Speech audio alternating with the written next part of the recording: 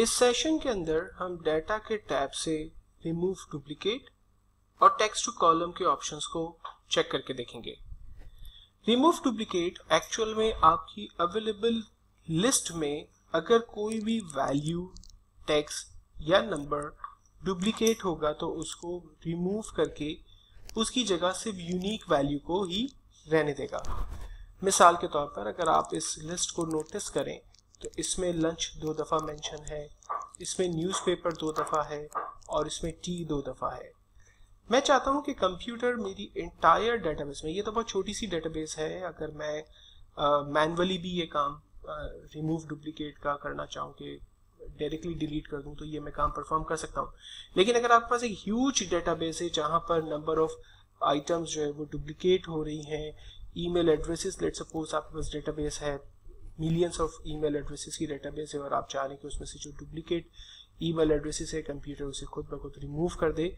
तो ऐसा करने के लिए हम कमांड इस्तेमाल करते हैं रिमूव डुप्लीकेट रिमूव डुप्लीकेट की कमांड को इस्तेमाल करने के लिए आप हेडिंग पर अपने कर्सर को रखेंगे और सिंपल कमांड इस्तेमाल करेंगे रिमूव डुप्लीकेट जब आप रिमूव डुप्लीकेट की कमांड को इस्तेमाल करेंगे तो आपसे एक सवाल करेगा कि क्या मैं इंटायर कॉलम बी को सेलेक्ट करूँ और उसमें जो भी ऑप्शन है उसको मैं रिमूव कर दूँ तो हम कहेंगे जी हाँ। अगर आपके पास मल्टीपल कॉलम्स हैं तो डेफिनेटली आप मल्टीपल कॉलम्स को भी सेलेक्ट करके ये काम परफॉर्म कर सकते हैं। लेकिन चूँकि मेरे पास इस वक्त सिर्फ़ एक ही कॉलम है, इसलिए मैंने कॉलम बी को सेलेक्ट किया एंड देन ओके किया। आप देखें, हमारे पास तमाम जो डुप्लीकेट वैल्यूज़ थी वो ख़त्म हो गई और सिर्फ़ सिक्स सिर्फ़ यूनिक वैल्यूज़ हमारे पास रह गई। और ये हमें बता भी रहा है कि आप देखें, ये कहता है कि हमारे पास थ्री डुप्लीकेट वैल्यूज़ जो उसे मिली, उसे उसने रिमूव कर दिया and at unique values remain यहाँ पर मौजूद है।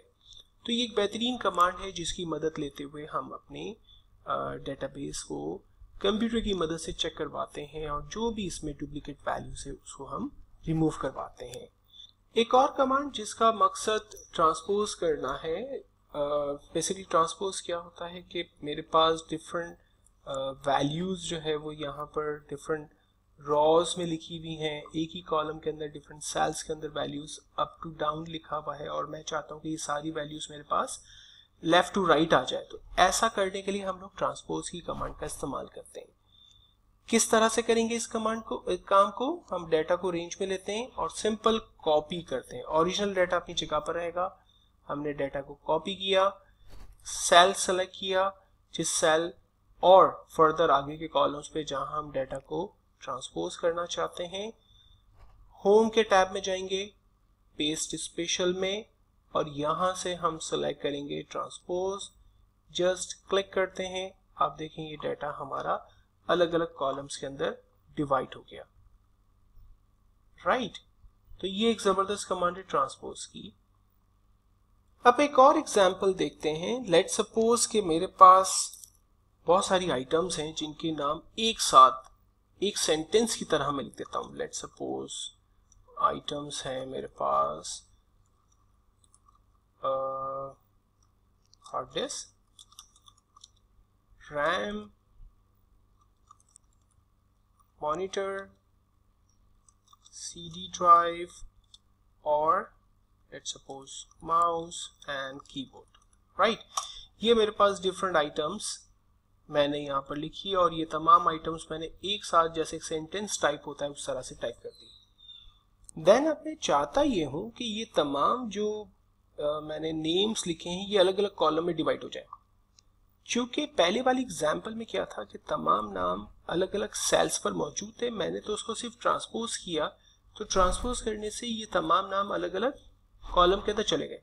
लेकिन इस वक्त जो एग्ज़ाम्पल मैं आपसे शेयर कर रहा हूँ, उसमें एक सेंटेंस के अंदर सारे नाम लिखे हुए और मैं चाहता हूँ कि वो सेंटेंस ब्रेक हो जाए इस तरह से कि जहाँ पर स्पेसिस है, वो वर्ड वहाँ से ब्रेक हो और आगे कॉलम्स के अंदर वो नाम चाहते चले जाए। तो ऐसा करने के लिए हम डाटा के टैब से टेक्स्ट टू कॉलम की कमांड का इस्तेमाल करते हैं। टेक्स्ट टू कॉलम में से हम डिलिमिटेड की कमांड को भी ले सकते हैं और फिक्स विर्थ को भी ले सकते हैं। लेकिन इस वक्त इस सिनेरियो में हमें फिक्स विर्थ ज़्यादा मदद करेगा। फ़िलहाल हम फिक्स विथ को लेकर नेक्स्ट करते हैं। आप देखें, हमसे सवाल कर रहा है, हमें बताता है कि ये सारे नाम को अलग अलग कॉलम में डिवाइड कर दे। हम फ़िलहाल इसको कहते हैं कि जी हाँ कर दे नेक्स्ट और फिनिश आप देखें, इसने तमाम नामों को अलग अलग कॉलम के अंदर डिवाइड कर दिया। लेकिन अगर हम इसको गौर से देखें तो कुछ नाम तो ऐसे भी थे कि जिसको ब्रेक नहीं होना चाहिए था। मिसाल के तौर पर हार्ड डिस्क मिसाल के तौर पर सीडी ड्राइव तो ये तो कंप्लीट एक नाम थे और इसने क्या किया कि जहाँ पर उसे स्पेस बार मिले, वहाँ से टैक्स को अलग अलग कॉलम के अंदर डिवाइड कर दिया। तो चले, हम इसे अंडू करते हैं। कंट्रोल जेड और दोबारा अपनी असल पोजीशन पर आते हैं और सेम कमांड को दोबारा इस्तेमाल करते हैं। लेकिन अब की बार हम थोड़ा इसको डिटेल देखते हैं और समझते हैं।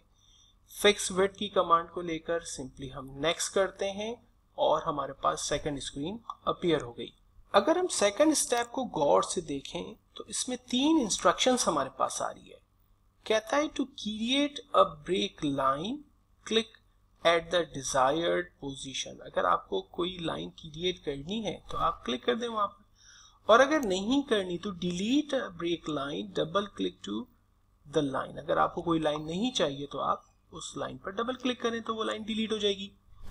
To move a break a line click and drag and drop तो हमें फ़िलहाल हार्ड डिस्क के दरमियान कोई लाइन नहीं चाहिए। हमने इसकी इंस्ट्रक्शंस को फॉलो किया डबल क्लिक किया, यहाँ से ये लाइन ख़त्म हो गई।